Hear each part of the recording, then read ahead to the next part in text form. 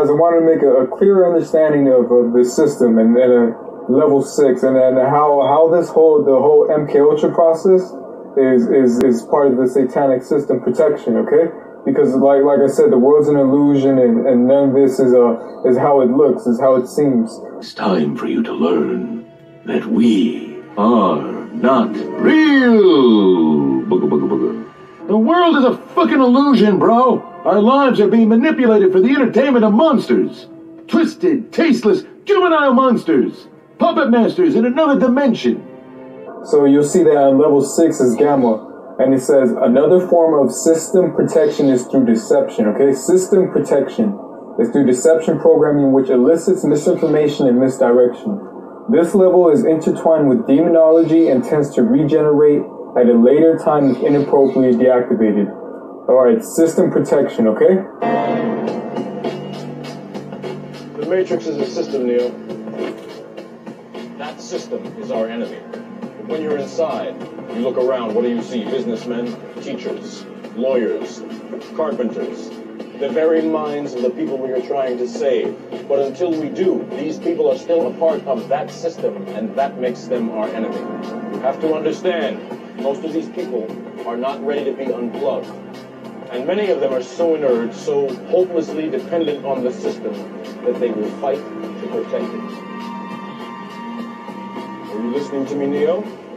Or were you looking at the woman in the red dress? Now, all of this is is uh, is uh, trauma based, and it's a satanic system because it, it made by the, the serpent bloodline. All right, and this is how they feed off of us. This is how they keep us in trap. Is through trauma, is uh, sex, and uh, fear. Okay, they, that this is uh, this is all part of it, and and the reason why why we're chosen for these levels, like I said, is because we're we're basically the benevolent ones trying to trying to, to wake you guys. All right, God's image. Okay, this is this is uh this is blood wars.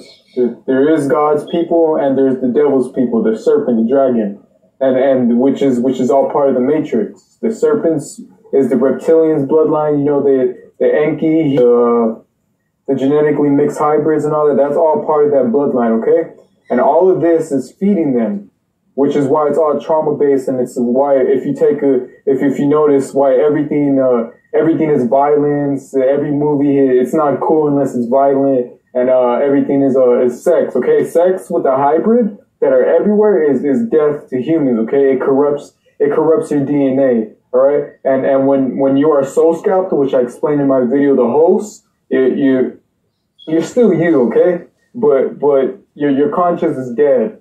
Right.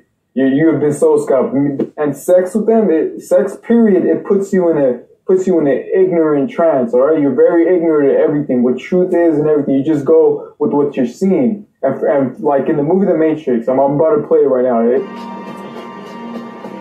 Were you listening to me, Neo? Were you looking at the woman in the red dress?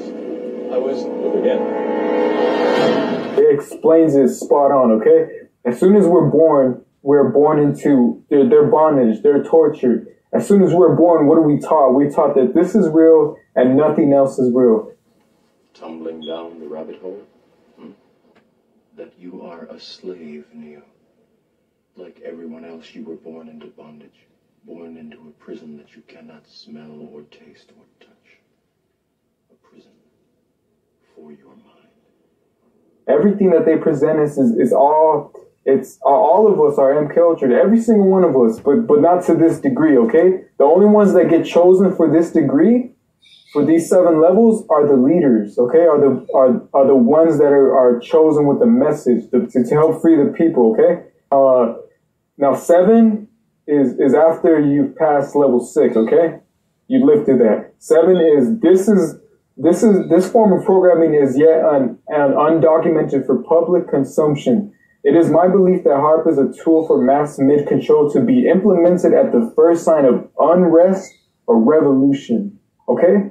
Do you get that? Look, it is my belief that HAARP is a tool for mass mid control, mass mid control to be implemented at the first sign of unrest or revolution. Remember, the ones that are keeping our, our frequency low and, and keeping us from what we really are, activating what we are, are, are them, the serpents, the government. The, those are the ones keeping us from what we really are, okay? And and what it says by uh is a mass mid control to be implemented at the first sign of unrest or revolution, meaning that they'll they'll drop that frequency uh, at the first sign of unrest or revolution. Okay, when we go against them, when we stand up and we get them out the office and and we open up our eyes to to what they're how much they're enslaving us. They're enslaving us on every level, and the main level is is they're feeding off us and they're keeping us from what we are. we but we are divine. We are the gods trapped in cocoons. We, we're trapped in this. We're trapped in this world. We're basically trapped in our minds. Okay, this is all. This is all like a like a projection for our minds. We, we none of this is us. None of it. We're we're much more. We we like uh, what's her name said. We could basically manifest universes with our mind. Right now, this this is what this is how the parasites feed off are feeding off of us.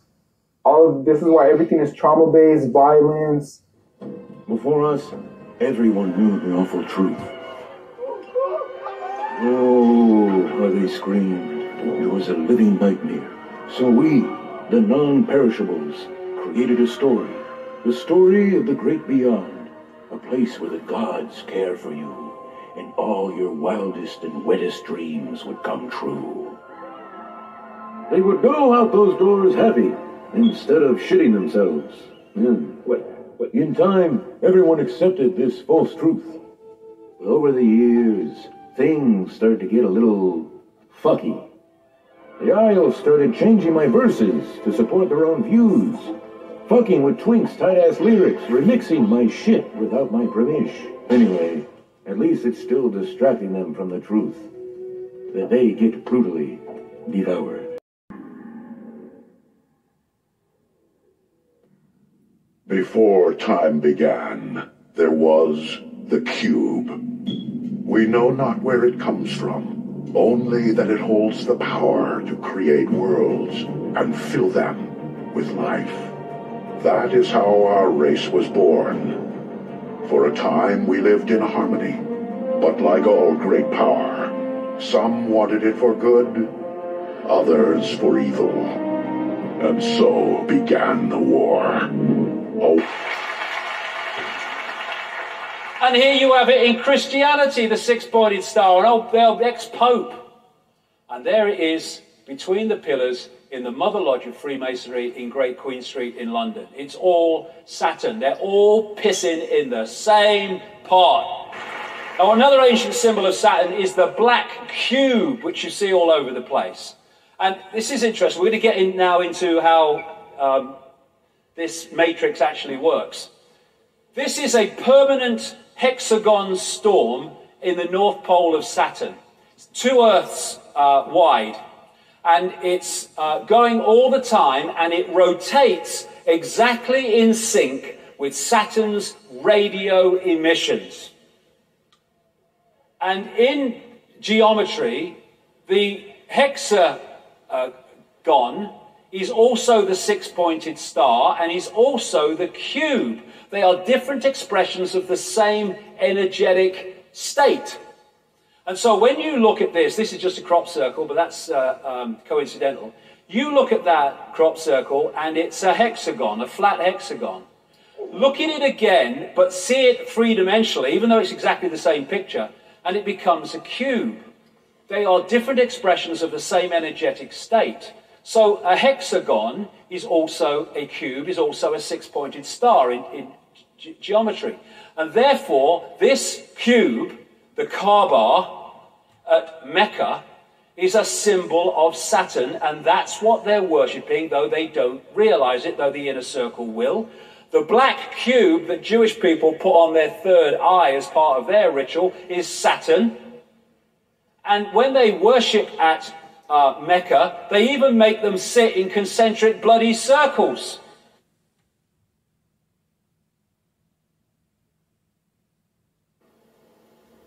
So within this ancient serpent religion, the pharaohs await the coming of their god and creator, the Messiah, or Messiah, as they force their serpent religion upon humanity through torture, by force, and by the violent priests of Amun.